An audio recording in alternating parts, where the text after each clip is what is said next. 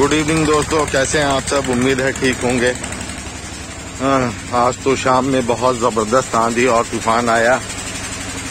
इसमें बहुत ज़्यादा नुकसान हो गया मुझे पूरा फार्म का पर्दा। ये देख सकते हैं आप।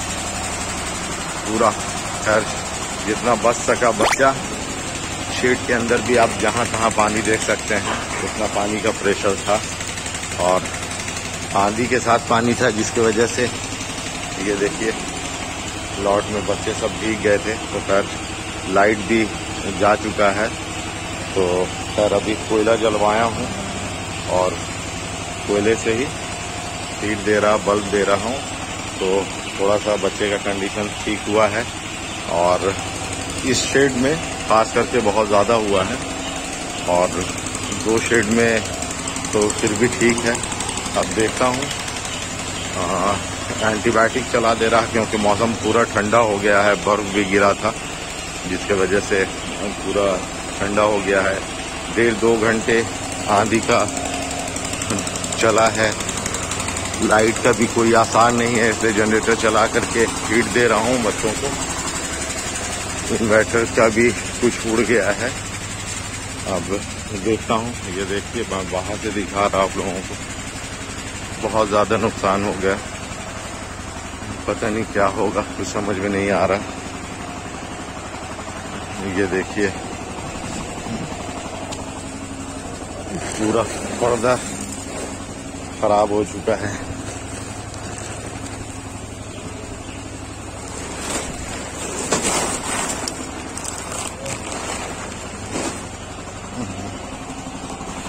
ये देखिए, इस साइड का तो पूरा पर्दा ही फट के बर्बाद हो गया। अब बहुत टेंशन हो रहा है कि क्या होगा।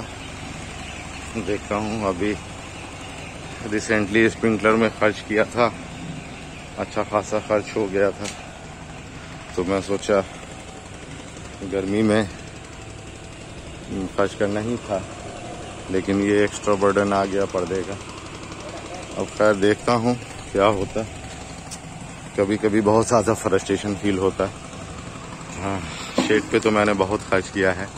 पर्दे में ज़्यादा खर्च नहीं किया था। मैं सोच रहा था कि थोड़ा सा रिलैक्स हो जाए तो बरसात से पहले पर्दे का सही तरीके से इंतज़ाम करूँगा।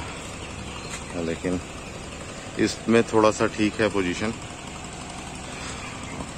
वो शेड का पोजीशन बहुत ख़राब है। लास्ट वाले का भी थोड़ा सा गड़बड़ है। ये देखिए।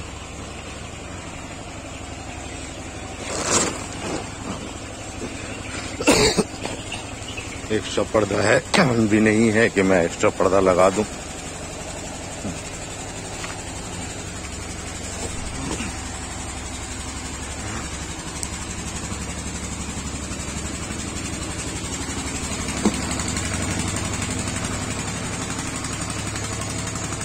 साइड का मैं पोजिशन दिखाता हूँ? ये भी पर्दा पूरा उड़ गया हमारा। इस साइड भी सारे पर्दे बर्बाद हो गए। और ये देखिए, क्या हालत हो गया है। इसमें फिर भी ठीक है, उतना ज़्यादा प्रॉब्लम नहीं है। वही थोड़ा सा पानी आया है और भूसी जो थे एक्स्ट्रा हम लोगों के पास वो सारे भूसी भी भीग चुके हैं। एक्चुअली उस साइड से बहुत ज़्यादा प्रेशर आता है पानी का। इधर से भी ये पर्दा पूरा ऊपर उड़ के चला गया था। और बर्फ़ गिर रहा था जिसकी वजह से स्टाफ लोग निकले लेकिन चोट बहुत ज़्यादा उन लोगों को लग गया था एक स्टाफ को। तो फिर हम मैंने मना कर दिया कि भाई मत जाओ हम लोग भी बाहर निकले तो बर्फ़ का टुकड़ा जो गिर रहा था प्रेशर में तो उससे चोट बहुत ज़्यादा लग रहा था। तो कुछ नहीं कर पा रहा था बैठ बैठ के हम लोग देख रहे थे तमाशा क्या कर सकता शेड के अंदर भी आ, पानी रोकने का कोई साधन नहीं था। वो देखिए, बोरा में भी जितने भी भूसे हैं, पूरा तकरीबन भींग चुके हैं, क्योंकि खोल के मैंने देखा कि अगर उसमें कुछ भी सूखा होगा तो मैं यूज़ कर लूँगा, लेकिन यूज़ नहीं कर पा रहा हूँ। देखता हूँ। बहुत ज़्यादा मेहनत है इसमें, और मज़ा भी है, मेहनत भी है। खैर, सीज़न का मार तो झेलना ही है। अप्रैल में आंधी आती है, जिसकी वजह से ही हमने शेड इतना हेवी बनाया। क्योंकि मुझे हमेशा डर लगा रहता है कि आंधी में कहीं शेड को नुकसान ना हो। इसलिए मैं स्टार्टिंग में ही प्रिकॉशन लिया था कि नहीं, मैं थोड़ा सा लेट होगा, लेकिन मैं शेड थोड़ा सा मज़बूत बनाऊँगा। तो इसलिए बहुत सारे दोस्त बोलते हैं कि आप लोगों ने बहुत ज़्यादा खर्चा किया है। खर्च की बात नहीं है भाई, अगर रनिंग लॉट में अगर इस तरह से हो प्रॉब्लम होता है तो बहुत ज़्यादा प्रॉब्लम होता है और बहुत तकलीफ़ होती है। इसलिए मैं स्टार्टिंग में ही थोड़ा सा कर रहा था। खैर, पर्दा भी हमने बहुत मज़बूत वाला डाला था, लेकिन क्या करूँगा? बाहर से रस्सी लगा के टाइट नहीं किया था, लेकिन इतने आंधी में कुछ नहीं किया जा सकता। खैर, देखता हूँ क्या हो सकता।